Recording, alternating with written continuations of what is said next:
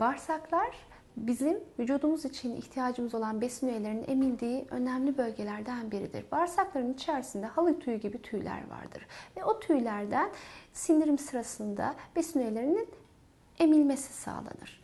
Bu tür bitkisel bağırsak hareketini arttırdığı söylenen bitkisel çaylar bu halı tüyü gibi olan tüylere, villus diyoruz biz bunlara, onların yapısını bozarak emilimlerde problem yaratmaya başlıyor.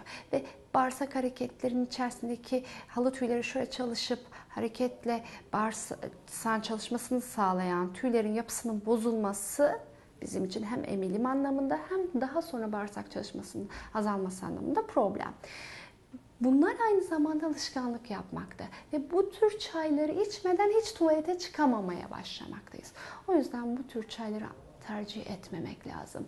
Burada mutlaka diyetimizi gözden geçirip bir gastroenterologla bir araya gelip sorunun ortaya çıkarılması, çözümün buna göre belirlenmesi önemlidir. Bitki çayları bağırsak hareketlerinin düzenlenmesinde ilk tercih olmamalı.